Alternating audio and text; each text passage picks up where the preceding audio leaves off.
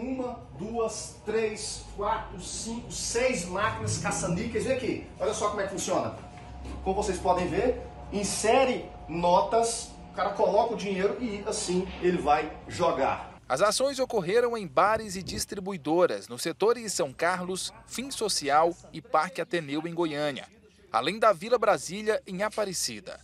Os alvos foram donos desses estabelecimentos e funcionários, responsáveis por manter máquinas de jogos de azar. Mais uma fase, desta vez com 19 apreensões de máquinas caça-níqueis, sete prisões em flagrante, pessoas essas que foram flagradas explorando é, jogos de azar, essas máquinas de forma clara, elas fazem esse tipo de exploração e também chegamos a apreender em determinados locais drogas. Nós também flagramos um adolescente tá? sendo que ele estava bebendo é, é, bebidas alcoólicas. Em outro local, também deparamos com um idoso que tinha gastado com todas as economias dele, com todo o dinheiro dele, uma máquina caça-níquel. Em 30 dias de operação, foram realizadas quatro investidas, que resultaram na apreensão de 56 máquinas caça-níqueis como essas.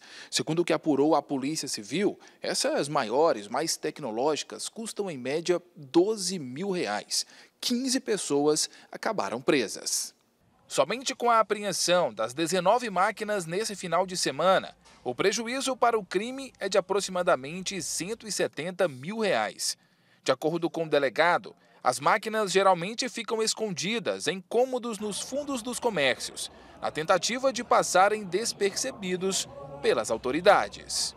O ar está bombando dessas, esses lixos aqui, né, destruindo famílias. Além da contravenção penal de exploração de jogos de azar, nós temos outros crimes relacionados, direto ou indiretamente falando, que é crimes contra a ordem tributária, a lavagem de dinheiro, a associação criminosa, crimes também lá no Estatuto da Criança e do Adolescente, quando tem presença de adolescentes e, paralelamente falando, essa questão né, de destruição de famílias, né, de um, uma, uma arrebentando as economias domésticas, né, um, uma crise de relações pessoais de que todas as pessoas que estão viciadas nesse tipo de, de, de, jogos estão aí refletindo até no nosso sistema aí de saúde. Dois jogadores aqui fazendo uso de cocaína, também uso de crack, ou seja, nós temos aqui uma mini cracolândia dentro de uma jogatina. O delegado responsável pela operação também alerta que a possibilidade de ganhos nesse tipo de máquina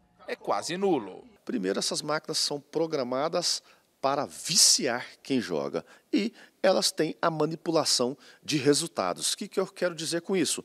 Que as pessoas elas vão perder. Mais de 80% a chance dela é perder. Então, no máximo que vai acontecer, ela ter um desses 20%, um pouquinho de chance de ganhar, ela vai ganhar e ao mesmo tempo ela vai jogando seu dinheiro, jogando seu dinheiro para ela viciar e vai retornando até acabar com tudo. Então, destacando, é jogo de azar e não jogo da sorte. Nós vamos continuar fazendo esse tipo de operação e, claro, queremos agora fazer o levantamento dos operadores, tá? dos programadores, de onde que estão também vindo os financiadores, porque nós sabemos muito bem que é uma verdadeira organização criminosa ligada à exploração de jogos de azar aqui em Goiânia e em todo o Brasil.